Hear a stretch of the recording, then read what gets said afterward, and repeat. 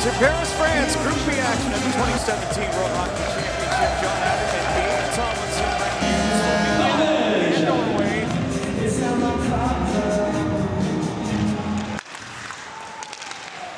Ken Andre Olimb out in front. Mathis Olimb scores! Right through the legs of Vitaric in Norway has a 1-0 lead.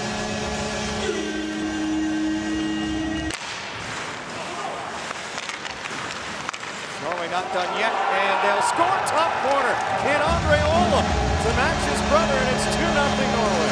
Once again, Norway is able to work the puck down below the net. Near side pass out front, and yes, the Olimb brothers. Reichenberg to the line, Odegaard shot block, kicks right back up, and Forsberg scores. Another top corner play, and it's 3 0 Norway.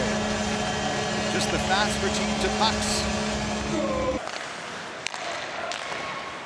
Tries a slap shot, deflected off the crossbar and out. Slovenia that close, I think, to Char. Reichenberg into the net, alone, dangles and scores! What a play from Reichenberg on the power play for Norway. It's 4 0. Oh, moved to the front of the net.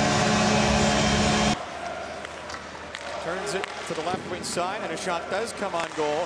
That stop, now the rebound does score right through the legs of Haugen. And Slovenia on the board thanks to Sabolic.